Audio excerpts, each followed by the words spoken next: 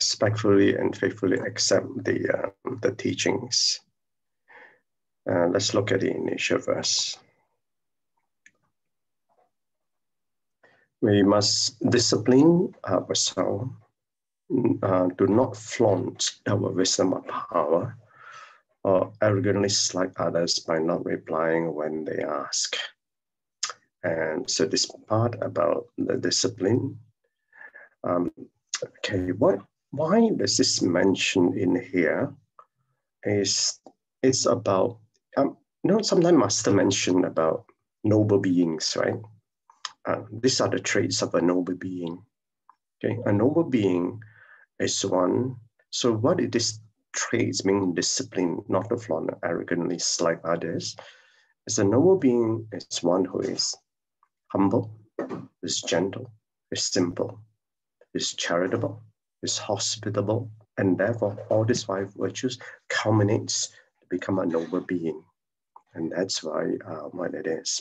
If we conceal the meaning of principles or teach the Dharma backwards, a slight new learners, we are not correctly accepting the Dharma's teachings. So the Dharma actually teaches us to have the good character. So by doing all these things, we are not actually applying this, the teachings into our life. So the, again, go back to the whole purpose of cultivation is to change our conduct. When we change our conduct, one of the things remember the three things that I say, you want to summarize what the teaching teaches, three things. Stop doing evil, do only good, purify the mind. So when we purify the mind, we will accept the Dharma and that will be imprinted in our heart and in our mind.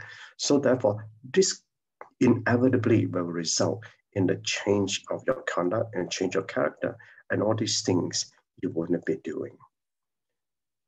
So um, in uh, Master's explanation, we must take an effort to constantly remind ourselves to be vigilant and disciplined of ourselves. We must not believe that our wisdom is advanced, that we are very capable, and so on and so forth. Now, we know that um, the supreme wisdom is as vast as the universe. If you have a chance to look at the composition of the earth in relation to the universe, and within the context is smaller than a mote of dust. So therefore, we can we do not even know everything in the world. So let alone everything in the universe. So therefore, um, the, what we know is infinitely small compared to what the supreme wisdom is. So for that, um, that's why the noble ones uh, always start with a virtue of being humble. So we must constantly be gentle and broad-minded. By sharing what we know with others, we can create good affinities with them. And this is what we are supposed to do in this Bodhisattva path. We go amongst the masses and in the masses to create good affinities. So therefore, if you then look back what you have done in the past, you look at what you have in this life, what sort of affinities you have in this life, and the fact that you have the affinity to join this path with so many in the family of practitioners, obviously you do have good affinity. But the thing is, in upon this life, we take upon this life to cultivate stronger and greater uh, affinities. So when we know good principles, considering them as wrong thing to do, and uh, we must be very precise in our sharing. So precise in our sharing, and if you remember some time ago, I mentioned to you all practice into precision, precision practice. And this is exactly what it is. I'm glad Master this point up. So one time when Buddha was at Jeta Grove, and this was about um, uh, because of the looks of the Sangha member, he was being looked down upon. But then Sakyamuni Buddha pointed out that he has already attained the fruit of arahatship. Now, therefore, in again, I, am just sharing my personal uh, practice and personal experiences. I will respect anyone who is in in a rope. But um, obviously, there are always in this time there are people to say that oh maybe you're not practicing right and so on and so forth. The fact of the matter is, very seldom I will show them my respect. But and also what's why is it important to understand this uh, arahatship is because if we slander uh, slander a uh, one who has attained um, certain level of arahatship enlightenment, and even to a sangha member, the the karmic uh, retribution is very great. So therefore, we got to be very mindful. So respectfully and faithfully accept. We only follow the Buddha's words. We follow the sutra. And so, um, and sort of, and this is the department only because it's the Buddha, the Dharma, and the Sangha. So the sutra is the Dharma. So therefore, we must also respectfully um, um, be respectful when we listen to Dharma. And um, I always tell my home sister that when it comes to Dharma, whether it's in Sutra and whether to any books that relate to Dharma, we must respectfully uphold that book, okay, and not to leave it on the floor. And we, we still have to be faithfully accept and practice the teachings. After listening to it, to it, we must practice according to the teachings. And that's why when you practice, practice according to teaching, inevitably your conduct, your character will change. So um, we cannot attain entrance to ultimate reality through our own wisdom. So this wisdom, obviously, then therefore, this wisdom that we cultivate a lifetime after lifetime, listen to the Dharma, and listen to Dharma, adopt it, and go to the stage of realization. And that realization had to be attained by your own, by your own, with the guidance of the master. So by listening to the sutra, and that's the reason why um, when you create, um, remember I mentioned about affinities. So when we build these affinities, when you practice, as you get to a high, higher level of practice, teachers will come, and um, masters and gurus will come and guide you. And uh, so therefore, this is why uh, when in our practice, why in a Mahayana path, we create these affinities and the guide you are the spiritual fighters, Kalyana Mitra, um, guides, guardians, teachers, or gurus. So we must mindfully comprehend and attain the state of pure mind that will be able to truly see the path. And as we practice, when we purify our mind, we purify our mind, we inevitably will change your conduct. So when you continue to change your conduct and, and continue to do that, your mind will be clearer until and then we sometimes we see truths ahead of us and and because we are illusory we take the wrong path and that's when we are in the great danger it takes long time to come back. It takes many many lifetime to come back on the right road. And a good, example is devadatta um, he can be following uh, to path by hasn't purified the mind. So some people have shallow wisdom and cannot yet realize but they have faith so we must not look down on those with the right faith, instead guide them patiently. So the lessons learned. Um, if people do not have faith and we share many things with them, we will actually to take a karma speech, which I just mentioned, and slander the karma, um, really uh, severe karmic retribution. Um, so in for me, I uh, way I practice is that if I know person uh, has is afflicted and will not accept the Dharma, uh, I don't I don't talk about it because uh, if I do, he or she may slander what I say. So that I'm mindful to keep my mouth sh shut for that reason.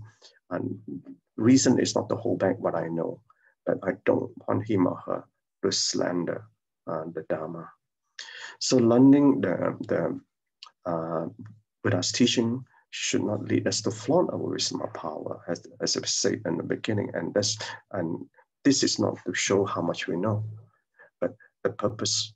And that, that's the reason why um, uh, in the very early teachings, I must say, have a bodhicitta mind. If you remember that some, some time ago. So therefore, the bodhicitta mind will have always the bodhicitta intention. And if the bodhicitta intention, you have the right frame of mind to share or not to share. and sometimes uh, not we, we have, may have to share a little because depending on the capabilities of the listener. So if we know people, people who are seeking teaching, we should probably share teachings with them. We should be the unsummoned teachers and not look down upon them. You know, I have um, yesterday, uh, Diligence Day, uh, in the breakout group. Uh, I was under Sister Michelle's group. And one of the topic we discussed, and I, and I, I brought this uh, matter up, it is unsummoned teachers. And to me, this unsummoned teachers, uh, there is two words, but to me, I think has contained very profound meaning. And what do you mean by unsummoned teachers? They, um, so I, and I think we don't have time to discuss about this, um, but maybe you should contemplate um, what you do you what it means by unsummoned teachers. Certain contemplation. A farmer never complains about the land in which he plows, for he is skillful.